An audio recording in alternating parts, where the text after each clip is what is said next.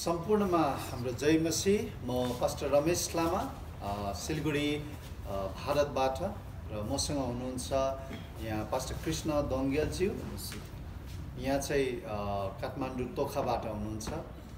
विशेष गरिकन आज तपाईँहरूको बिचमा हाम्रो मिडियाहरूको मार्फत केही परमेश्वरले दिनुभएको दर्शन सेयर गर्नको लागि म यहाँ उपस्थित भएको छु हाम्रो कृष्णज्यूसँग। दुई हजार पन्ध्र भूकम्पको समयमा यहाँ आउने परमेश्वरले मौका दिनुभयो अनि राहतको कुराहरूबाट सुरु गरिकन परमेश्वरले मण्डली रोपणको काममा मण्डली निर्माणको काममा चेलापनको काममा लगातार रूपमा प्रयोग गर्दै जानुभयो।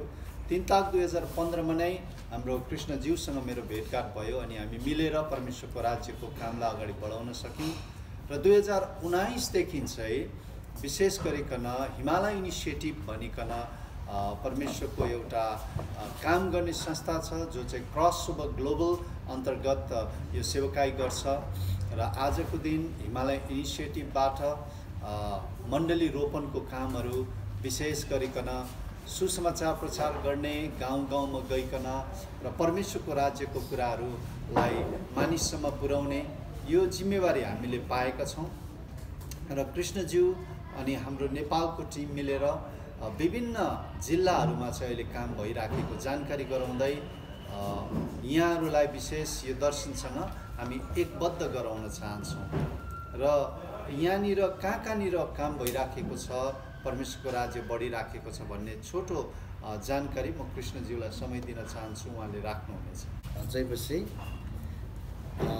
हिमालयन इनिसिएटिभ नेपाल परिवारद्वारा चाहिँ हाल प्रभुको अनुग्रहमा चाहिँ नुवाकोट त्यस्तै गरी पाल्पा दाङ जनकपुरमा अनि त्यस्तै गरिकन हाम्रो पूर्वको खोटाङ ओखलढुङ्गामा चाहिँ हामी मिलिकन चाहिँ प्रभुको सुसमाचारको काम अनि चेला निर्माण अनि मण्डली स्थापनाको कामहरू चाहिँ अगाडि बढिरहेको छ। हुन्छ धन्यवाद छ। यो जग्गाहरूमा आजको दिन परमेश्वरले हाम्रो टिमबाट हिमालय इनिसिएटिभबाट चाहिँ मण्डली स्थापनाको कामहरू चेलापन निर्माणको कामहरू गरिराखेको छ र सम्पूर्ण दर्शन दर्शकहरू जतिजना आज हामीलाई यस च्यानलहरू मार्फत हेर्दै हुनुहुन्छ म नेपाललाई माया गर्ने र नेपालको लागि परमेश्वरको राज्य आओस् भनिकन प्रार्थना गर्ने सबैसँग हाम्रो दर्शन बाँड्न चाहन्छु र प्रार्थनामा सहभागी भइदिने म आग्रह गर्न चाहन्छु। हाम्रो हिमालय इनिसिएटिभको दर्शन चाहिँ रिचिङ द अनरिच भनेर भन्छ। जहाँ सुसमाचार पुगेको छैन त्यस ठाउँमा गएर सुसमाचार स्थापना गर्नु प्रचार गर्नु अनि प्रचार गरिसकेर त्यतिकै छोड्न होइन तर उनीहरूलाई आत्मामा डोर्याइकन मण्डलीको स्थापना गर्नुसम्म हाम्रो लक्ष्य रहेको छ। र विशेष गरिकन यो सुसमाचार सुनाएको बापत नै हामीले भन्छौँ glorifying God through preaching the gospel परमेश्वरको महिमा गर्ने एउटा तरिका यो पनि हुन्छ भनेर हाम्रो क्रसअप ग्लोबल हिमालय इनिसिएटिभले भन्छ। कि परमेश्वरलाई महिमा दिने काम चाहिँ हामी सुसमाचार सुनाएर अनि आत्मा जितेर पनि हामी परमेश्वरलाई महिमा दिन सक्छौँ। अनि यही महिमा दिने काममा दुई हजार उन्नाइसदेखि यता हामी लगातार अगाडि बढिराखेका छौँ र विशेष जानकारीमा दिन पर्दाखेरि सालमा हामी चारवटा तालिमहरू दिन्छौँ। त्यो विशेष गरिकन चर्च प्लान्टिङमा आधारित रहेको तालिम छ जसलाई हामी एमएमसी ट्रेनिङ भन्छौँ। आज पनि विशेष गरिकन काठमाडौँमा हामी यो तेस्रो एमएमसी ट्रेनिङ चलिराखेको छ र आउँदो समयहरूमा यो तालिमहरू सम्पूर्ण नेपालका मण्डलीहरूको लागि हो र नेपालका मण्डलीहरूले हामीसँग सम्पर्क गरेर यो तालिम लिकन हामी सहकार्य गरिकन र परमेश्वरको मण्डली निर्माण गर्ने कुरोमा सुसमाचार नपुगेको ठाउँहरूमा सुसन्देश समाचार सुसमाचार लिएर गइकन परमेश्वरको राज्य स्थापना गर्ने कुरोमा हामी मिलेर परमेश्वरको राज्य यहाँ ल्याउन सक्छौँ। र नेपाल एउटा सुन्दर देश एक प्रकारले परमेश्वरको राज्य यो देशमा आउनुपर्छ भन्ने दर्शन परमेश्वरले दिनुभयो। र कृष्ण दोङ्गलज्यू धेरै वर्षदेखि उहाँले यो सेवकाईमा अ, सह सहभागी भएर काम गर्दै हुनुहुन्छ। अहिले उहाँ चाहिँ विशेष हिमालय इनिसिएटिभको नेपाल टिमको नै उहाँ चाहिँ सुपरभाइजर हुनुहुन्छ एउटा रेस्पोन्सिबल पर्सन। अनि म चाहिँ हिमालय इनिसिएटिभ क्रस ओभर ग्लोबलको ग्लोबल कोअर्डिनेटरको रूपमा छु। म इन्डिया नेपाल अनि भुटानको देशहरूमा परमेश्वरको यो राज्य विस्तारको काममा परमेश्वरले प्रयोग गरिरहनु भएको छ। दर्शनको कुरो यहाँ गर्नु पर्दाखेरि अ, आजको दिनमा यी ठाउँहरूमा मण्डली स्थापना भएको मण्डलीहरूलाई चाहिँ हामी बोलाइकन अनि तालिम दिने गर्छौँ। तालिम तिन दिनको तालिम हुन्छ। अति नै सुन्दर आशिषमय तालिम शक्तिशाली तालिम भन्न म रुचाउँछु। कारण गएर हाम्रो जति पनि चर्च प्लान्टर्सहरू छ या हाम्रो प्रभुका दास दासीहरू छन् उहाँहरूले चाहिँ विशेष गरिकन सुसमाचार सुनाउने काममा उनीहरू लागि पर्छन् अनि हामी उनीहरूलाई छोड्दैनौँ तर उनीहरूसँग फेरि फिल्डमा गएर उनीहरूलाई मेन्टरिङ गर्छौँ उत्साह दिन्छौँ केयरटेक गर्छौँ। अनि एउटा शैली छ एउटा हामी चर्च प्लान्टिङ मुभमेन्टमा यो प्रकारले काम गर्नुपर्छ भन्ने तरिकाहरू सिकाउँदा मण्डलीले आज सुसमाचार सुनाउनुपर्छ। मण्डली चाहिँ आज सङ्गतिमा आउनुपर्छ तर सङ्गतिमा आएर हाम्रो विश्वासीजनहरू आत्मामा बढेपछि सुसमाचार लिएर गाउँ सहरमा जानुपर्छ मात्र नेपालमा होइन तर नेपालदेखि बाहिर पनि गएर परमेश्वरको राज्य अब बाँड्नुपर्छ भन्ने उद्देश्यमा हामी तालिम दिएर चाहिँ चारवटा इजको बारेमा भन्छौँ। यो चारवटा इज भनेको चाहिँ पहिलो इज चाहिँ इभान्जलिजम अनि दोस्रो इ चाहिँ एस्टाब्लिस भनेर भन्छ। उनीहरूलाई सुसज्जित गर्नु अनि विश्वासमा उनीहरूलाई दह्रो पार्नु अनि एस्टाब्लिसको बादमा इक्विपिङ भन्छ।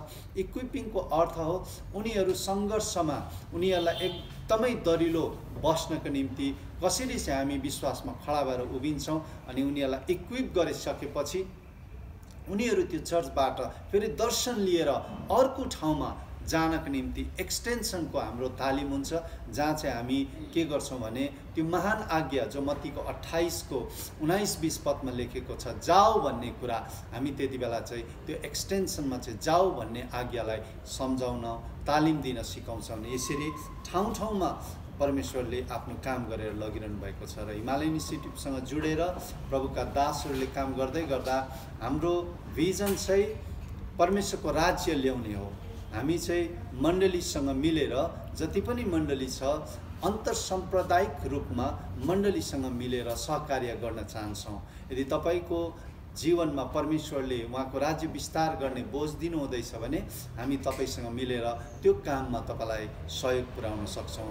तालिमद्वारा अरू विभिन्न रिसोर्सेसद्वारा हामी तपाईँलाई सहयोग गर्न चाहन्छौँ।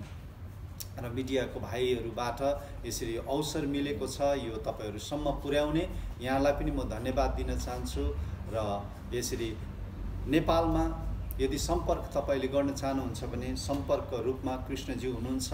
यहाँसँग तपाईँले सम्पर्क साध्न सक्नुहुन्छ र उहाँको फोन नम्बर सायद केही समयपछि तल स्क्रोल हुनेछ र उहाँलाई तपाईँले सम्पर्क गर्न सक्नुहुन्छ र म इन्डियामा बस्छु यहाँ समय समयमा आउँछु र उत्साह प्रेरणा दिने गर्छु। हुन्छ यहाँलाई यो कुराहरू राख्न सके। र हाम्रो दर्शन तपाईँलाई मन परेको छ र मण्डलीका अगुवा गुरुजनहरूले पनि हामीसँग सम्पर्क गरेर यो एमएमसी ट्रेनिङ अथवा यो तालिम लिएर परमेश्वरको राज्यको काम बढाउन सक्नुहुन्छ। हुन्छ यहाँहरू सबैलाई धन्यवाद। जय मसी प्रश्नहरू छ भने गर्नु सक्छ दुई कडा प्रश्नहरू गर्नुभयो यो हजुरले त माइक ल्याउनु होइन? यो यस्तो गर्ने अलिक नजिक नजिक गरेर बोल्नु। उहाँ- उहाँलाई बोल्ने बेला उहाँलाई दिनु नत्र भने तपाईँ बोल्नु को बोल्ने हुन्छ? ड्राइभर को बोल्ने तपाईँ बोल्ने कुरा बोल्नुहुन्छ त्यसै तपाईँले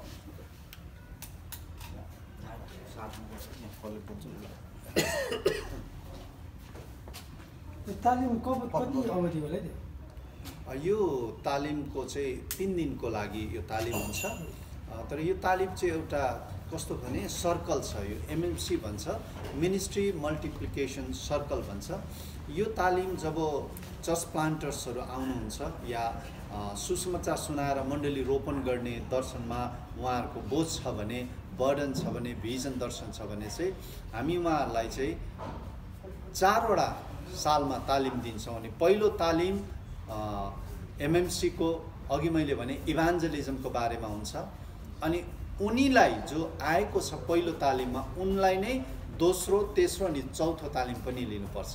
र एउटा कम्प्लिट प्याकेज हो तालिमको। एउटा तालिम लिए अनि मैले छोडेँ। हामी त्यसो गर्न चाहँदैनौँ। किनभने इभान्जलिजम पछि चाहिँ एस्टाब्लिस एस्टाब्लिस पछि चाहिँ इक्विपिङ इक्विपिङ पछि चाहिँ एक्सटेन्सन भन्ने छ। एक वर्ष डल्लै हामीसँग जब रहेर हाम्रो के भनौँ बोली अथवा शब्दमा मात्रै होइन तालिमको कुरा तर व्यवहारमा जब मेन्टोरिङ भन्ने पार्ट छ त्यो चाहिँ उहाँको फिल्डमा उहाँलाई के समस्या छ उहाँलाई के आवश्यकता छ हामी फिल्डमा गएर प्रार्थना गर्छौँ अनि उहाँसँग फिल्डमा गएर उहाँलाई उत्साह दिन्छौँ। त्यसलाई चाहिँ हामी मेन्टोरिङ भन्छौँ। सो ट्रेनिङ चाहिँ तिन दिनको हुन्छ अनि त्यसपछि उहाँसँग लगातार हामी महिना दुई महिनामा उहाँको फिल्डमा पनि भिजिट गरेर प्रार्थना गर्ने इत्यादि कुरोमा म हामी सहयोग गर्छौँ। त्यो त्यो तिन दिनको तालिम चाहिँ एक वर्षमा चारपल्ट गरेर पुरा हुन्छ होइन? हजुर हजुर। तिन दिन गरेर हाम्रो तालिम हुन्छ अनि वर्षमा चारचोटि हामी गर्छौँ गर्दा पाँचवटा बाह्रवटा तालिम बाह्रवटा तालिम चाहिँ जम्मा वर्षमा। हजुर। सालभरमा बाह्रवटा तालिम चाहिँ एउटा तालिमेले तालिम चाहिँ लिनुपर्छ अनि मात्रै त्यो कम्प्लिट हुन्छ। यसमा विशेष गरेर पहिलो हामीले के भनौँ पहिलो व्यक्ति जो सहभागी हुनसक्छ उनीहरू चाहिँ सुसमाचार म सुनाउँछु मलाई बोझ छ भन्ने व्यक्ति। यदि उसको हृदयमा सुसमाचार सुनाउने बोझ छ भने हामी चाहिँ सुसमाचारको उद्देश्य के हो तरिका के हो बाट सुरु गरेर उनीलाई त्यसमा हामी मद्दत गर्छौँ। यसमा चाहिँ एजुकेसन अथवा क्वालिफिकेसनको त्यस्तो रिक्वायरमेन्ट के छ? यसमा क्वालिफिकेसनको रिक्वायरमेन्ट चाहिँ उसले लेख्न पढ्न चाहिँ सकेको चाहिँ राम्रो हो किनभने तालिममा हाम्रो म्यानुअल हुन्छ पाठ्यक्रमहरू हुन्छ त्यो पढ्न सकेको राम्रो हो। तथापि यदि कोही व्यक्ति प्रभुमा साँच्चै सुसमाचार सुनाउनेहरू छन् नपढेकोहरू पनि हामी भेट्छौँ। अनि हामीसँग यस्ता पास्टर अगुवाहरू छन् जो पढ्नु भएको छैन तर सुनेर नै तालिमलाई लिएर अनि उनीहरूले परमेश्वरको काम चाहिँ गरिरहेछ त्यसले गर्दा त्यो चाहिँ हामी अन्तर्वार्ता इन्टरभ्यूबाट उनीहरूलाई सोध्छौँ। त्यसपछि योग्य व्यक्ति हो भने हामी नपढेको व्यक्ति तर योग्य व्यक्ति हो भने उहाँलाई हामी मौका दिन्छौँ।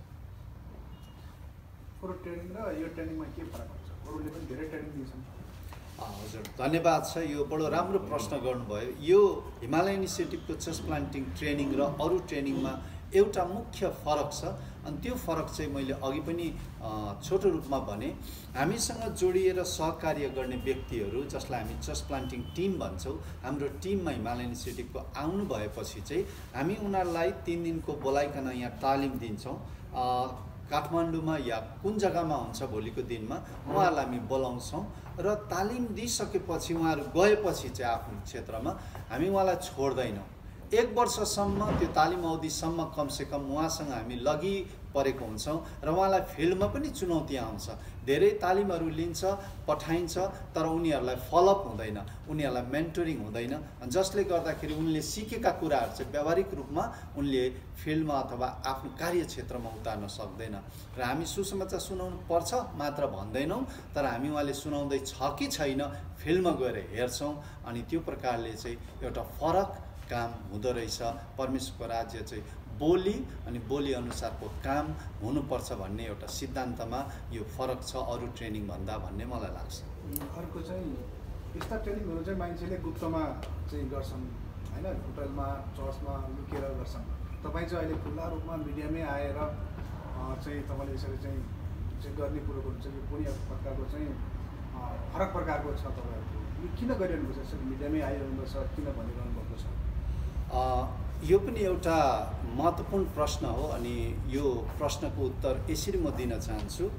मैले अघि हजुरलाई भने दुई हजार उन्नाइसदेखिको यो सेवकाई चाहिँ गुप्तमै भनौँ प्रार्थनासहित हामीले एक प्रकारले छोटो रूपमा सुरु गरेर आयौँ।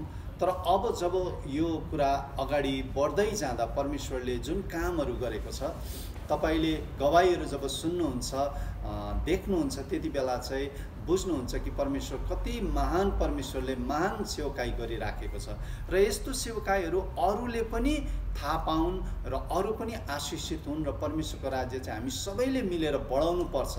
अनि परमेश्वरले डरको आत्मा होइन हामीलाई आत्मा संयम र विश्वासको आत्मा दिनुभएको छ निडरताको आत्मा दिनुभएको छ र हामी नम्रतामा आफ्नो विश्वासलाई प्रकट गर्दै जानुपर्छ भन्ने एउटा ध्येयमा र यो तालिम चाहिँ यस कारणले हामीले सार्वजनिक गऱ्यौँ कि अरू पनि सहभागी भएर आशिषित हुन सकोस् भनिकन धन्यवाद। एउटा क्वेसन गर्नु है। यो अहिले धेरै भ्रम पार्ने शिक्षाहरू छ होइन? गएको समयमा हिमालयन जस जोसुवाले काठमाडौँमा ठुलो सम्मेलन गर्यो। त्यसले एउटा दुईवटा धारणै सिर्जना गर्थ्यो क्या। एक थरीले चाहिँ नि यो चाहिँ एकदमै छुट्टा शिक्षा भयो भने एक थरीले एकदम राम्रो भन्ने कुराहरू। भ्रम त्यहाँबाट भ्रम सिर्जना भयो नि त। अनि त्यो हिमालयन जोसियालाई जोसुवा चाहिँ कालिम्पोङमा पनि त्यहाँको पैँतिसवटा मण्डलीहरूले उनीहरूलाई बोयकट पनि गर्यो होइन। भनेपछि यहाँहरूले सिकाउने शिक्षा चाहिँ नेपालको मण्डलीको मूलहरूसँग को त्यसको बारेमा अलिकति प्रश्न पारिदिनु भयो भनेदेखि सहभागी हुनेलाई पनि धेरै सहिलो हुन्थ्यो। त्यो बारेमा भन्नुहोस् हुन्छ धन्यवाद छ। अहिले वर्तमान इसाई मण्डलीमा यो भ्रमको शिक्षाहरू या झुटा शिक्षाहरू प्रशस्त मात्रामा भइराखेको छ। नेपाल मात्र नभएर भारतमा पनि यसले धेरै भाँडभैलो मचाइराखेको अवस्था हो। तर अघि मैले जसरी भने हाम्रो शिक्षा चाहिँ मूल रूपमा चाहिँ थियोलोजिकल बेस होइन। तपाईँहरूले बुझ्नुपर्ने यहाँ मण्डलीले बुझ्नुपर्ने। जब थियोलोजिकल बेसमा कुरा आउँछ तब चाहिँ त्यहाँनिर चाहिँ के हुन्छ भने विभिन्न सिद्धान्तहरू हुन्छ। अनि यो भुल शिक्षाको कुराहरू चाहिँ त्यहाँबाट आउँछ। आफ्नो आफ्नो डक्टिनल कुराहरू जब लिएर आउँछ है तब चाहिँ यो भुल भ्रान्तिका कुरा आउँछ। तर हामी चाहिँ एकदमै सिम्पल सुसमाचारको कुरा मात्रै गर्छौँ। सुसमाचार सुनाउने आत्मा जित्ने कुरासम्म हाम्रो रहन्छ अनि मण्डली स्थापना गर्ने कुरासम्म रहन्छ। त्यसले गर्दा हामी कुनै डक्टिनल कुराहरू सिकाउँदैनौँ। डक्टिनल कुरा हामी जुन मण्डलीको जस्तो डक्टिन छ त्यो अनुसार उहाँहरू अगाडि बढुन् हाम्रो प्रार्थना रहन्छ। र हामी अन्तर साम्प्रदायिक र एक प्रकारले मण्डलीको शिक्षासँग सुहाउँदो शिक्षालाई नै राख्छौँ जहाँ चाहिँ विशेष गरिकन परमेश्वरको राज्यको निर्माणको लागि अनि सुसमाचार प्रचारको लागि चाहिँ हामी समर्पित छौँ। र हाम्रो क्रसओभर ग्लोबलको भिजन नै छ reaching the unreached and planting the multiplying churches भनिकन। गुणात्मक रूपमा वृद्धि हुने मण्डलीको स्थापना गर्नु र सुसमाचार जहाँ पुगेको छैन त्यहाँ सुसमाचार सुनाउनु यो नै हाम्रो मूल उद्देश्य र दर्शन रहेको छ। धन्यवाद। विशेष गरेर यो ट्रेनिङहरू यस्ता ट्रेनिङहरू नेपालमा धेरै नै हुन्छन्। तर यो ट्रेनिङहरूले के गर्छन् भन्दाखेरि चाहिँ ट्रेनिङ दिन्छन् चर्चका मानिसहरूलाई। अनि पछि त्यो चर्चबाट चाहिँ फुटाएर लगेर चाहिँ अर्को चाहिँ सुरुवात गरिन्छ वा सल्लाह कति बेला सल्लाह पनि हुनसक्छ वा नहुनु पनि सक्छ। यस्ता ट्रेनिङहरूले यस्तो एउटा साइड इफेक्ट भनौँ एक प्रकारको मण्डललाई असर पार्ने प्रकार पनि देखेको छ। तपाईँहरूको चाहिँ कस्तो छ?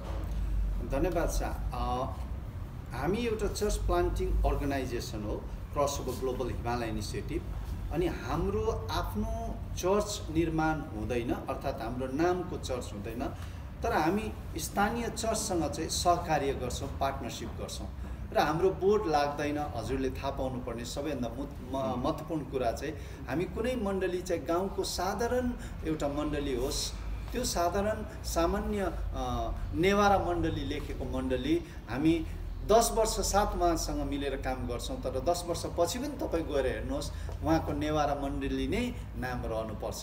यो चाहिँ हाम्रो एउटा के भनौँ हाम्रो एउटा समर्पणता हाम्रो एउटा कमिटमेन्ट हो। हामी उहाँको मण्डली बिल्डिङसँग उहाँको संस्थाको कुरासँग होइन हाम्रो दर्शन चाहिँ परमेश्वरको आत्मा जित्ने कुरासँग अनि उहाँले परमेश्वरको आत्मालाई बढाउनुपर्छ बढ्नुपर्छ भन्ने कुरासँग छ। त्यसले गर्दा मण्डली फुटाउने जस्तो प्रश्न नै आउँदैन। उहाँ जो मण्डलीसँग छ उहाँको अगुवासँग एक प्रकारले सरसल्लाह अनुमतिको साथमा नै हामी तालिममा उहाँहरूलाई स्वागत गर्छौँ। यसमा मैले पनि एउटा प्रश्न गर्न चाहेँ। नर्मली सेवाकाई क्षेत्रमा हामी हेर्छौँ भने सेवाकाई चाहिँ एउटा बेरोजगारहरूको ऊ जस्तो देखिन्छ क्या ठाडो रूपले भन्दाखेरि।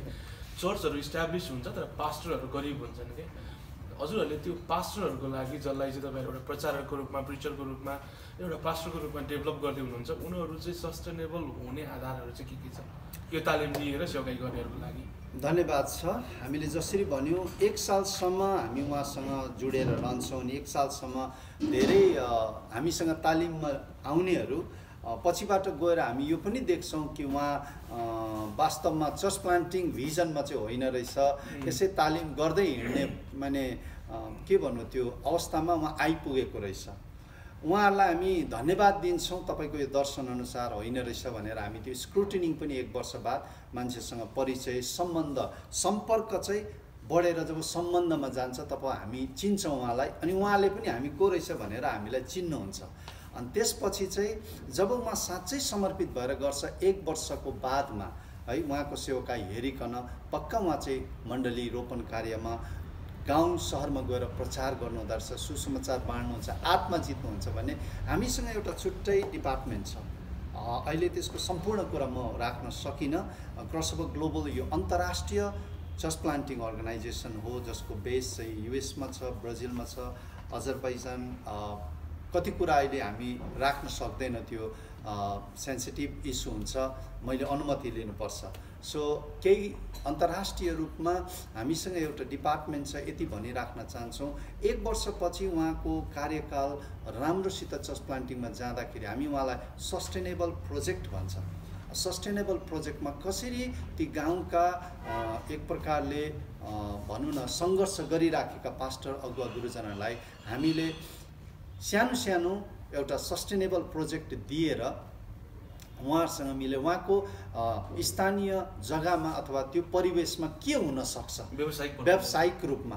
तर त्यो चाहिँ हामीसँग जब उनीहरू जुडेर केही समय बितेपछि हामी पक्का उहाँहरूसँग चाहिँ लङ टर्म हामीसँग जान्छ भनेपछि उहाँहरूको लागि हामी निश्चय चिन्ता गर्छौँ। अनि त्यो कुरो चाहिँ कसरी हामी थाहा पाउँछौँ भन्दाखेरि उहाँलाई कुन कुरो दिनुपर्छ भन्ने कुरामा चाहिँ जब हामी मेन्टरिङमा जान्छौँ फिल्डमा जान्छौँ हेर्छौँ त्यति बेला चाहिँ हामी त्यो कुराहरू गर्छौँ। धन्यवाद। एउटा अर्को प्रश्न पनि थियो। सोध्नु छ कसलाई यो स्थानीय व्यक्तिलाई पनि यसो ल सोध्नु हो त्यो लगाइदिनु नि त उहाँलाई एउटा प्रश्न चाहिँ अलिक